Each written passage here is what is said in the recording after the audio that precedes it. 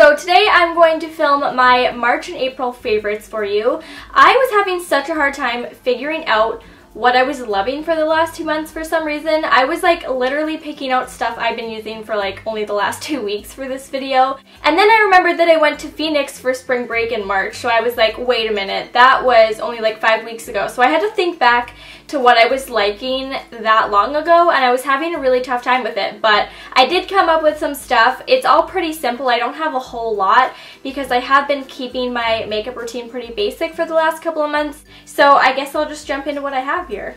So I didn't really have a favorite foundation in March. I think I was kind of still just using whatever. But one thing that I was really into with my skin was making it really dewy. So I kind of went through a phase where I was like obsessed with having luminous, glowy looking skin. And since I am kind of oily, I can't just wear a dewy looking foundation and leave it like that. I have to use a lot of powder.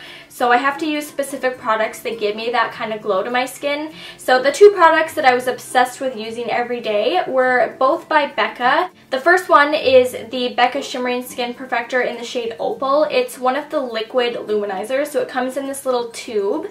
And basically what I was doing with this was just dotting it in the places that I wanted to highlight before I set my makeup with powder. And I was blending it in over top of my foundation with a blending sponge. And then I would go on and set my face. So you could kind of still see the luminizer through the powders because I only use translucent powders. And then what I was doing after that was I was setting the highlight with the Becca Shimmering Skin Perfector powder version in the color Moonstone. So even though they are two different shades, I found that it still worked fine because this one wasn't strong enough that it like affected the look of the powder. But I just liked the two of these paired together. I thought that like doubling up on the highlighters gave me a really nice effect and it did make my skin look really glowy. And I still do use these, but I have other highlighters that I've kind of switched out now. So I'm basically still doing the same system just with different products. Love those and they're still great products. I still reach for them occasionally. Another product that I kind of rediscovered in March was my Benefit Hoola Bronzer. I've had this thing literally forever and I kind of just stopped using it because I have so many matte bronzers now so it kind of just got lost in my drawers but I believe I seen somebody use it on a YouTube video and it made me bust it out again and then I kind of became obsessed with it again. So it's pretty much been my everyday bronzer since then. Basically it's just like the perfect neutral bronzer color. It's not too orange and it's not too cool. It's kind of right in the middle but maybe more so on the cool side. And I just think it's a great product. I always recommend this to people to have it in their makeup collection. So if you guys don't have it and you've been wondering if you should purchase it, I highly recommend it because I think that it's just perfect for pretty much everybody. For my brows in March, I pretty much only used one product for the entire month, which was the Anastasia Dip Brow in the shade Blonde. I'm pretty sure I've showed this in a favorites video before, but I can't remember. But I have still been using it since that last point. So I was using this for quite a while. I was always really skeptical to try it because, I mean, when I think about putting like a cream in my brows, I just thought it was going to be really harsh but I'm a true believer that it is the way that you apply it that matters, if that makes sense. So um, it is kind of a pricey item, but the amount that comes in here is actually outrageous because I only tap my brush in it like the tiniest little bit and that's enough for one brow.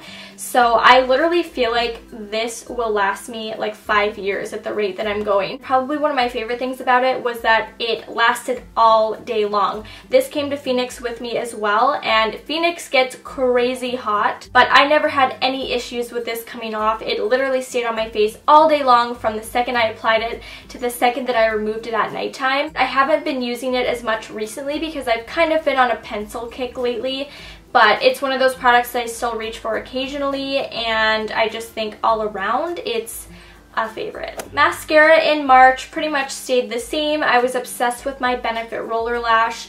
This was definitely in my last favorites video and I've just been using it ever since pretty much. I'm still on the same tube but I'll probably have to get another one soon because I can start to feel it drying out.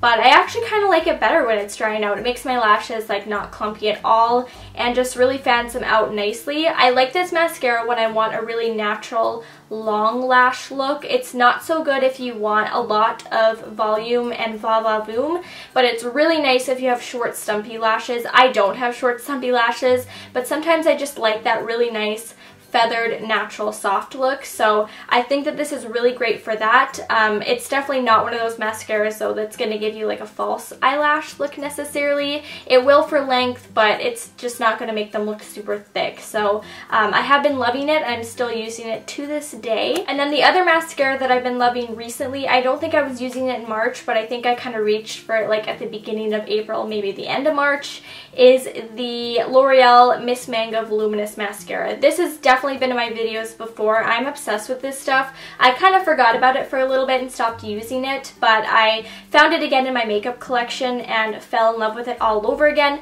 This is one of those mascaras that's really good if you want that really big fake eyelash look. It gives a ton of volume and it is even borderline clumpy to me, but I don't mind that look sometimes because I have long eyelashes, so for me it kind of evens itself out in the long run. If you have really short lashes, I don't know if this would be very good because I think it would just kind of build up on them and make them look really weighed down. But I love this one when I want more of a dramatic look and it is from the drugstore so that's a bonus.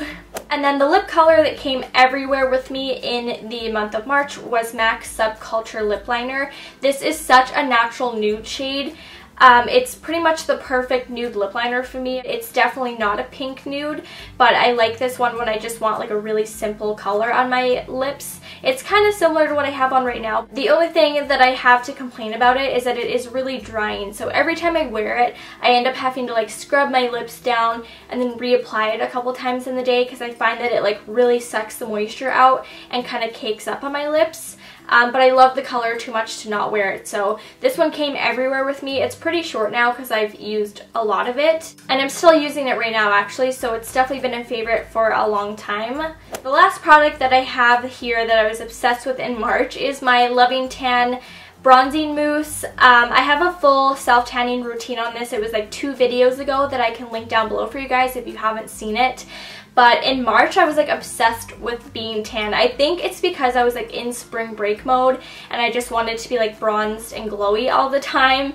But I was using this literally like once a week. I don't even think I was letting my tan wear off before I was reapplying it. Like I was tanned all the time. I just went through that phase where that's all I wanted to be. So I was using the shade Dark, which I'm actually out of, so I have the medium here, which is what I have on right now. It is a little bit lighter, but I still feel like I'm nice and tanned with that one, so I'm still really loving it. But for some reason, March was like my biggest self-tanning phase that I've ever had, so it definitely had to be included in that. In April, I definitely found a new foundation that I became obsessed with. It's the L'Oreal Infallible Pro Matte Foundation from the drugstore. I went through this huge phase in April of wanting to try new drugstore products. I probably bought like four new foundations from the drugstore in total that month or this month I guess because it's still April but this was honestly the only one that I liked out of everything that I bought. It's the only one that I bought that actually lasted on my skin all day and looked the same when I first applied it as it did at the end of the night, if that makes sense. Everything else came off after like two hours and separated where I got oily and just didn't look good on me by the end of the day. But this one honestly stays the exact same. It keeps me matte all day long and I just really like um, the way that it applies on my skin. I think that it's a really great coverage and I love the color selection as well. I've been pairing it with my Rimmel Stay Matte powder. This is something I've been using for such a long time but it's another one of those things that I kind of rediscovered this month. So I've been wearing these two together and for keeping me matte and for lasting power it's like a 10 out of 10. I bought it in two shades. The shade that I have on right now is 104 Golden Beige and like I said I do have the medium self tanner on. I have a darker shade as well in the foundation that I bought for my dark mousse. So depending on what color my skin tone is at the time is which foundation I wear but right now this one works great for me. I think it's a really good color. So if you self tan with a medium-ish kind of self tanner then definitely check out Golden Beige because I think it's a good shade. This is so random but the eyeshadow I've been wearing every day for the last month is also by L'Oreal. It is the Infallible eyeshadow in the shade Amber Rush. I'm sure you guys have heard about this before because it used to be so popular on YouTube. And like I said, I did some digging around in my makeup collection and kind of found stuff that I had forgotten about. So this was definitely one of those products I kind of seen it sitting there and I was like, hey, I used to really like this. It's really pretty, so maybe I should try it again. And I've pretty much been wearing it on my lid ever since that point. It's one of those shades that looks really natural on the eyelids and goes really nicely with a tan. These are really easy to apply. You can even apply them with your finger. They're very low maintenance and I find that they're just really quick and easy. They last all day. They have really good color payoff and they have really nice color selection. So I've been really liking this Amber Rush shade. And I know I have a couple other shades in my makeup collection so maybe I'll have to bust into that and see what else I have and try it out. And then my favorite lip combination for the month has been yet another MAC lip liner. This one is in the shade Whirl. It's definitely a lot darker than the Subculture one that I showed earlier, but I still like this one because it's good for defining the outer edge of my lips. I use it very lightly because I want it to still look nude. I don't want it to look like a dark brown, which it can kind of show up on me as if I apply it too heavily. So I basically define the outer edge of my lips with it and then softly blend it in with my finger. And then I go in and fill the rest of my lips in with this Gosh Forever Lip Shine in the shade Sweet Moments. This is basically just like a really moisturizing, shiny jumbo lip crayon that you can twist up. I love the shade selection of these. I love the way that they smell and I love how moisturizing they are. I can just pop these on really easily and they don't get cakey on my lips or like suck out all the moisture or anything. So I've been really liking these. I actually have them in a couple different shades but this is by far my favorite one because it's just the easiest one to wear. I usually just throw this one in my purse and carry it around with me and that's why it's kind of become my everyday lip color. So this combination has been my favorite. It it is what I have on right now, so if you guys like that, then this is what it is. So I'll have that all down below for you guys so you can check it out. I'm not sure where you can buy Gosh if you live in the States. I know if you live in Canada, most Shoppers Drug Marts have it, but I will try to find a website that carries it for you Americans because I'm not sure if you can buy it in stores. I've never seen anybody talk about it before, so I will double check on that for you guys. And then my last two favorites are both hair care products, which is weird because I almost never include hair care products, but I've been really loving these two. So the first one is a conditioner. It is the Vitamin E Conditioner by Organix. I buy this at the drugstore, and mainly I'm just obsessed with the scent of this. It is like, if I could make this into a perfume, and bathe myself in it, I actually would. Basically what I do with this, because it is a little bit more of an intense um, conditioner, is I only apply it from like root down, so right on my ends, and I find that it makes them really soft, really silky. It rinses out so nice in the shower, makes my hair smell amazing. My boyfriend Justin comments on it. Every time I shower, he says my hair smells super good, so I've been blaming it on this. I think that's probably what it's from, because I love the smell of it as well. So yeah, definitely been a favorite. I've been using this for a couple of months now and I still have quite a bit left because like I said I only use it on half my head so it is lasting me quite a while but I'll definitely be repurchasing it when I'm out. And then the other product is also a conditioner, but this one is a leave-in. It's the It's a 10 Miracle leave-in conditioner.